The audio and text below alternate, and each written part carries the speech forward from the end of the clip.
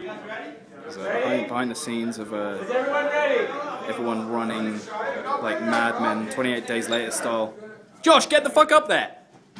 This is, uh, yes, so this is uh, crazy fans um, attending the Almighty Excruciating Pain gig. So, yep, okay, at any point.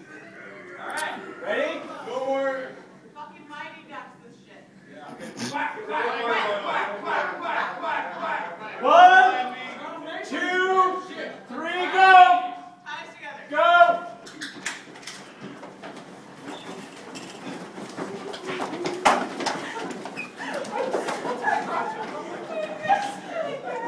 Jesus Christ.